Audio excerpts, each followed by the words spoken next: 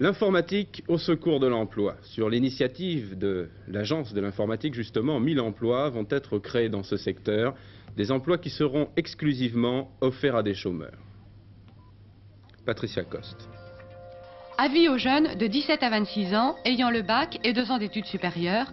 Avis aux femmes sans emploi pouvant bénéficier de contrats emploi-formation ayant le profil jeune ou cadre. Avis tout au moins à 500 d'entre eux. Avis aussi à 500 cadres demandeurs d'emploi. Le secteur informatique cherche 1000 programmateurs et analystes programmateurs. Ce secteur souffre en effet d'une grave pénurie de spécialistes, avec la généralisation de l'électronique, l'informatisation généralisée des télécommunications et de l'audiovisuel.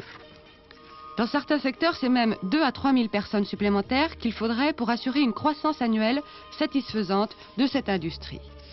Alors ils se sont mis à quatre, deux ministères, Travail et Industrie, l'Agence de l'informatique et les représentants de la profession, pour lancer cette opération intitulée 1000 informaticiens. Pour plus de renseignements, il faut téléphoner à l'Agence de l'informatique, Tour Fiat, CEDEX 16, 92 084, Paris La Défense, téléphone 696 43 21.